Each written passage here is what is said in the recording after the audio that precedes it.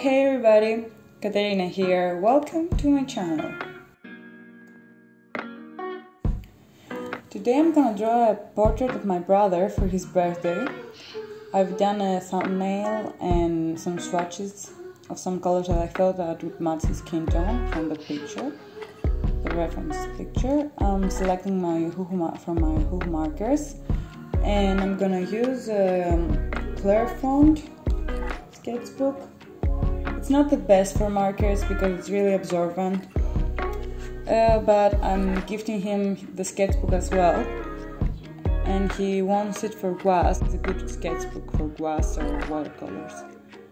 But I prefer using markers, so the present is gonna be with markers. I'm starting the sketch with um, some Prismacolor color pencil. I was erasing quite a lot actually to get things right. Like I done the nose, for example, and then the eyes look a bit odd. And then I fix the eyes, and then the nose is odd again. and I was like going back and forth, back and forth until I get it right.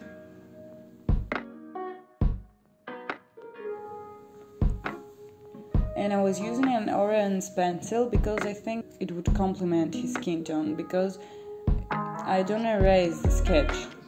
I slightly erase it with a, um, a kneaded eraser, but I don't completely erase it because that's my guide and I want to see it. That's why I'm using a colored pencil because I want to be able to keep it there, the sketch because if I was doing with a regular pencil, graphite pencil, it would be very muddy and the colors would be altered by the pencil.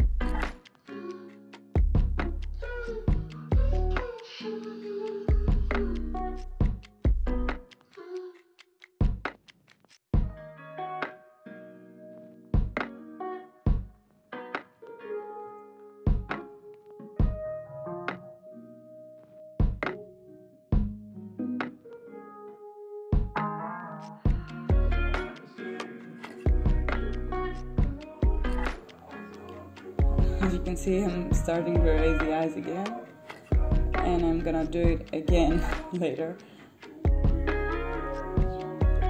I don't know, he looks like a cowboy here. It doesn't look like a cowboy in the reference picture.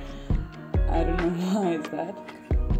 And I couldn't uh, get the expression right because it was a slight smile. It wasn't a huge expression like a really intense one. It was a slight expression, and it's more difficult to cut these things when you're drawing.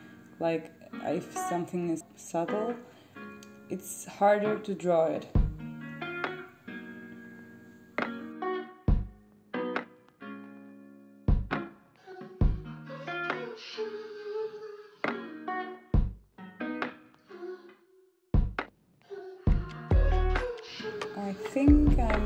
Finishing up the sketch now. Like deepening some darker values and putting some more details, even though they won't be visible when I add the marker on top. But it helps me see if the sketch is um, right because if you mess up the sketch, then the drawing is gonna be messed up in the end. You can't you can't make it right if you don't make a great sketch at the first uh, at the start.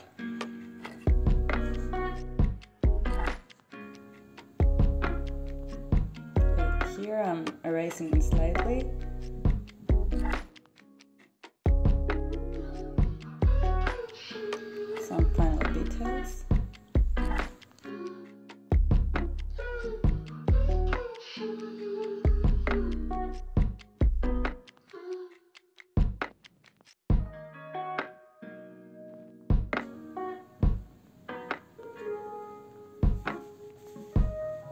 And here I'm testing the markers in a sketchbook that I have that is similar with the one I'm gonna put the markers on.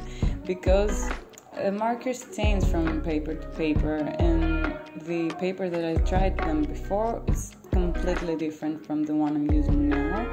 It has different color, texture, everything. So I wanted to see if they're uh, good for the sketchbook I'm using now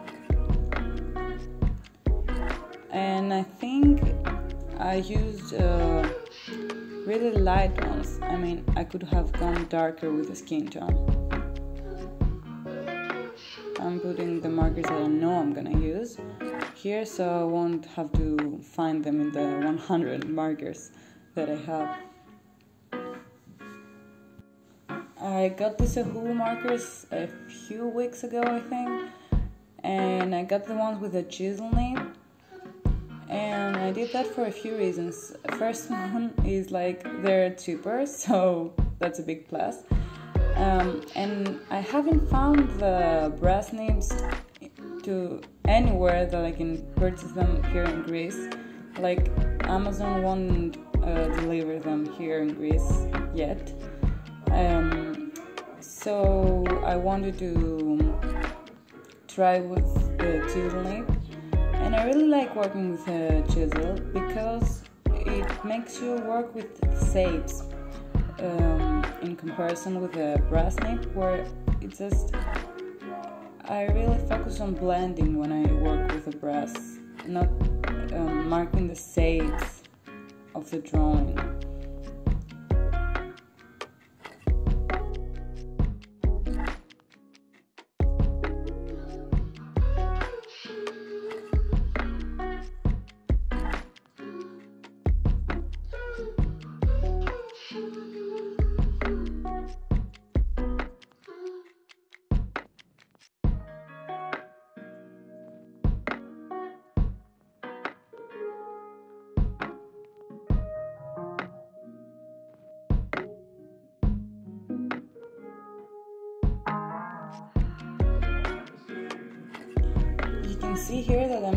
To follow the curves of the face whenever I put the markers down to the paper. It creates a better effect, I think. It captures the shape of the face better when you do it that way, instead of just um, putting the marker all over the face and then try to trot the, the shape of the face later. I don't know how to explain it. And I'm starting with um, the darkest place, the, the places that I know are gonna be the darkest in the illustration, but I'm starting quite light, I guess you can say, because it's it's kind of scary to start dark, dark when you're working with markers because you can't go back from there. But I think that way I'm not going quite dark. I could go a lot darker, I think, with the skin tone but because I'm starting so light, sometimes I don't add so much contrast in the end. Like here, I'm using a very light color just to put a first layer down and blend the colors a bit, but I think I actually leave it for some places, like maybe the chin or the tip of the nose. I'm not quite sure. And the hat really made it difficult for me. I spent a lot of time in the hat, and it doesn't look right, even though I'm trying to make it look right. I think I made it even worse in the end, trying to fix it with some colored pencils. I don't know. You'll see, but I don't think I did a very good job on the hat. But luckily, I think you're not gonna um, pay much attention to the hat. You'll pay much at- more attention to the face, I think. I hope so, at least, because I don't even know what is that, how the this hat that I drew works. I don't even know. But anyways.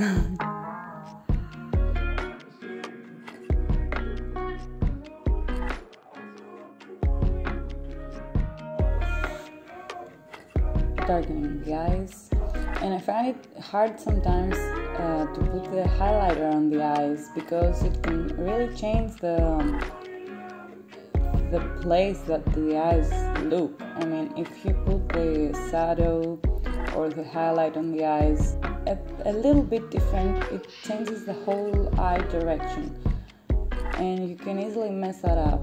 I think and putting a light was on the browns uh, the brows first because I'm scared to put like go straight with a dark one that I'm gonna use for the hair. And hair is another part that I struggle the most when I'm drawing portraits. I'm trying to get better, but I find it a bit boring to be honest to draw hair. I don't know why. I'm not um, a very detail oriented artist. I'm quite messy actually, and I prefer to just slap the color or the sketch and just be done with it very quickly, you know. I'm not like, oh, let's put all these details here, details. uh, no, I just like to focus on the bigger shapes, the shadows, the highlights, and not so much in the details. That's what I'm trying to say. Here I'm deepening the shadows.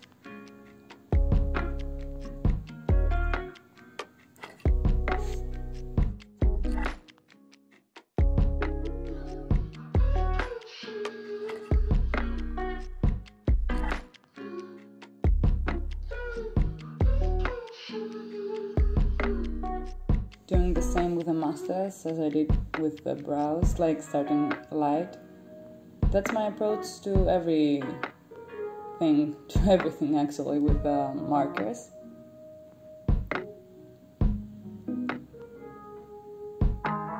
I'm redefining the nose because I'm afraid I might lose the shapes if uh, the colors end up really close.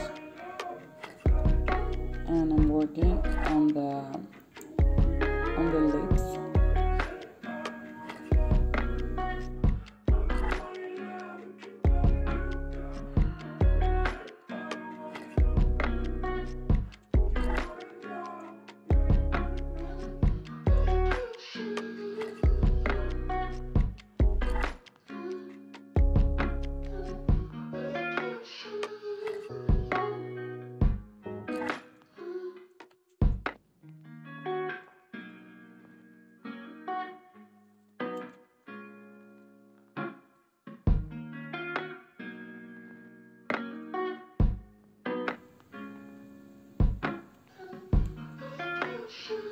Deepening the colors of the hair and adding some details to the hair in general. Some flyaway hair to make it more realistic because he has messy hair actually. So I think the flyaway that I'm gonna add in a bit and later with pencil, um, I think it really brought it together for the hair because right now it just blocks of hair it's not detailed as I said before I'm not for details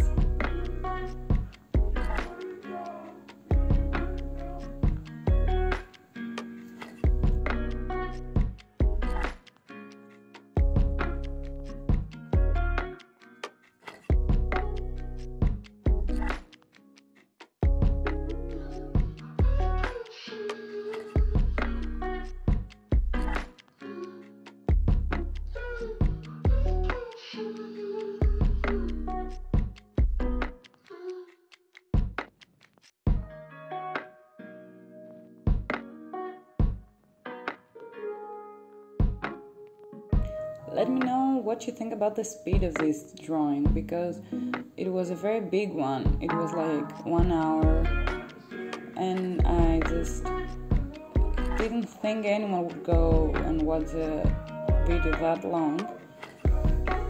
So I really sped it up, but I don't know if you prefer to see the whole process or maybe um, skip the sketch and have a slower speed in the actual coloring of the piece. I don't know, let me know because I'm new at this. I don't really know what I'm doing. So if you have any advice, I would really appreciate it.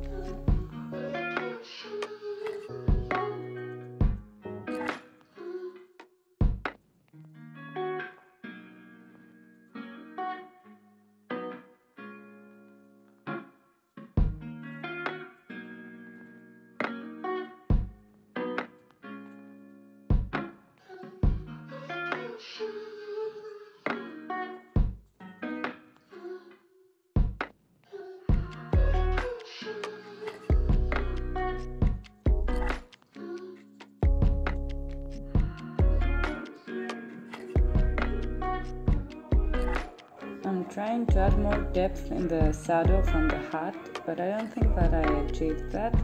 I should have gone a lot darker than this. I don't know if uh, it translates this is a shadow from the hat.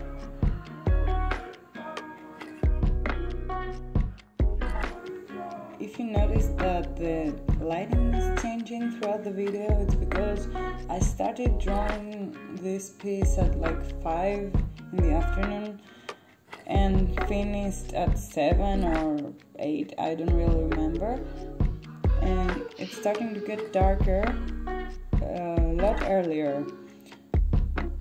So I had to change like the lighting setup because I was relying on natural lighting at first, but then I had to open a lamp to have a better quality lighting because it was getting so dark outside.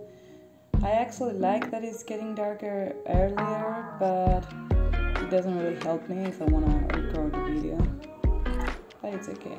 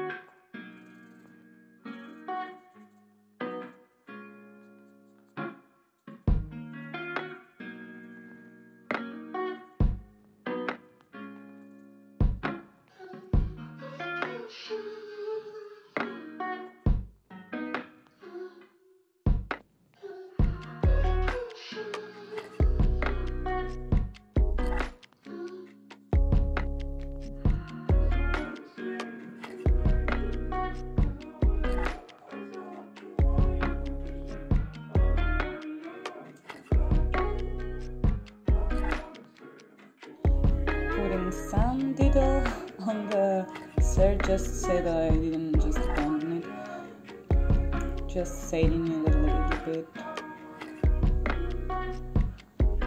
I'm gonna add a bit more depth than that in the end but nothing crazy. It was just a white shirt anyways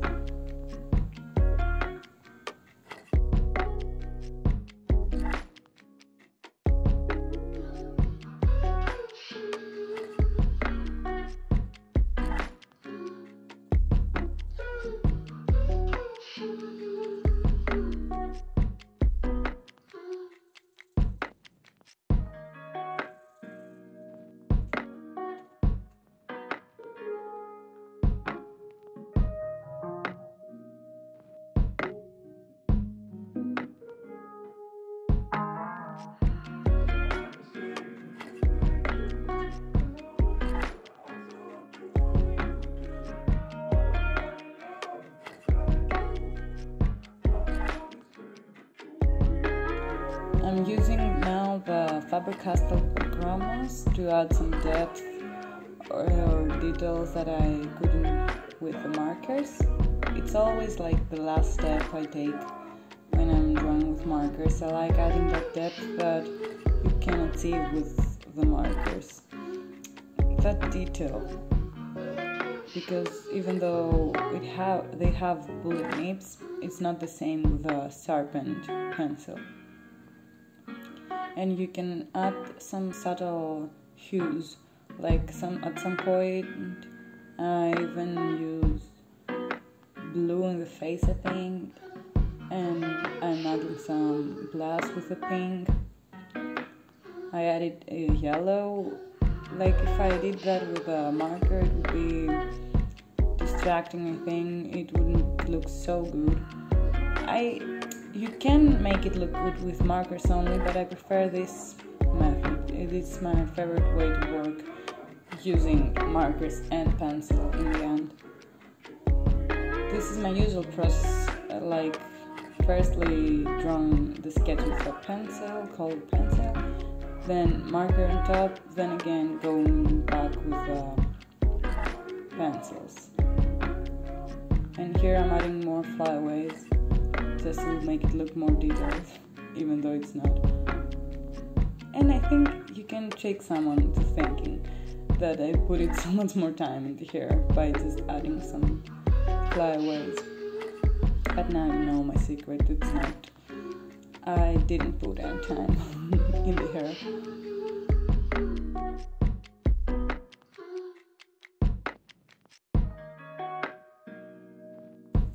Darkening the eye sockets and under the jaw, making it a bit more detailed in the eyes.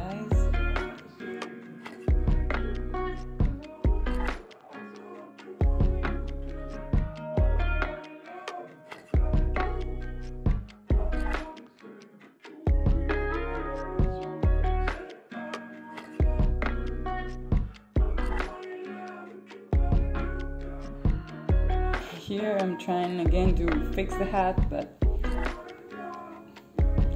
I've got some footage actually from here because I was trying to fix the hat and I couldn't. I don't know what to do with the hat. It looks really weird, like it's not part of the illustration. It's just alone here. I don't know what is happening in the hat. I really don't like it.